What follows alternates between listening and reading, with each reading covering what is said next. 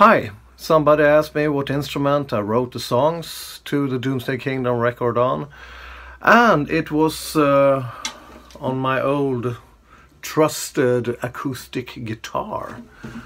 Uh, like this.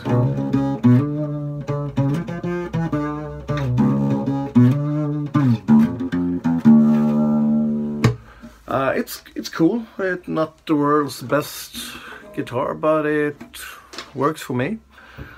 Sometimes I also used um, my Gibson SG electric guitar.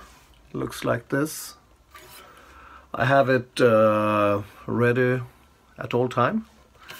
If uh, I get a riff in my head you know you want to be quick and record it. And uh, also uh, this is what I'm gonna use live in the Doomsday Kingdom my, my brand new uh, Rickenbacker bass and it's plugged uh, straight into the Blackstar rig over there just two small cabinets and uh, an amp. That sounds pretty good. And I just plug straight in the way I always did it with Candlemass, you know, just using a tuning box in between. And uh, maybe I also use uh, this SansAmp, the Tech 21, uh, looks like this.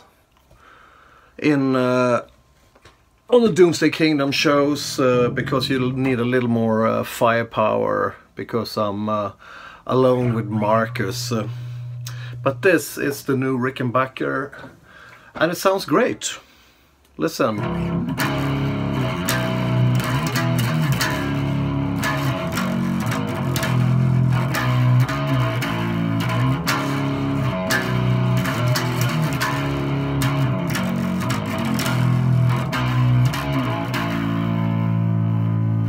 Yeah.